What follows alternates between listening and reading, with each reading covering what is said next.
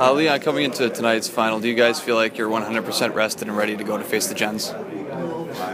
Um, yeah, definitely. I mean, uh, you know, we, we had a day off yesterday. We had a light skate, and I think uh, we're, we're definitely ready to go.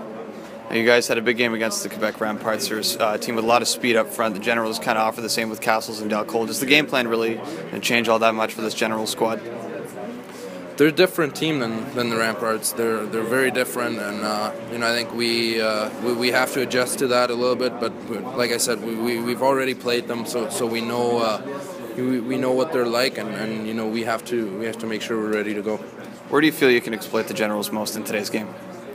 Uh, we'll, we'll see about that. Um, you know, they're they're a big team. They're a very good team. They're physical, and um, yeah, I think uh, we'll see we'll see how it goes tonight. Hey, head coach Dan Lambert actually played in a Memorial Cup back in the '80s with the Swift Current Broncos. He's, has he uh, shared any of his experience with you guys to this point yet?